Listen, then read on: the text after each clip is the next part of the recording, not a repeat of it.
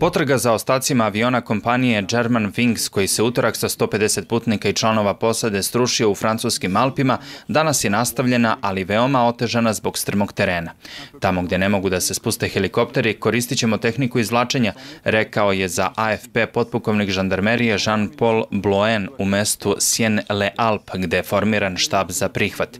Nesreća se dogodila u zoni od oko jednog hektara veoma strmo i dodao je on, napominjući da je mnogo razbacanih njihovih ostataka i da će biti veoma teško pokupiti ih. Avion se srušio u području nasred planine koja se završava na 2200 do 2500 metara visine, objasnjuje on, dodajući da je ono pristupačno samo iz vazduha i da ima malo puteva pa bi bilo veoma komplikovano stići peške. U potragu je uključeno šest helikoptera, dve žandarmerijske pume i pet dragona civilne bezbednosti, kao i oko 350 spasilaca vadrogasaca iz regiona.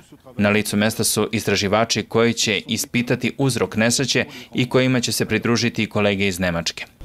Francuski predsednik François Hollande i nemačka kancelarka Angela Merkel, kao i premijer Španije Mariano Rajoy, stigli su nedaleko od mesta nesreća aviona German Wingsa u francuskim Alpima.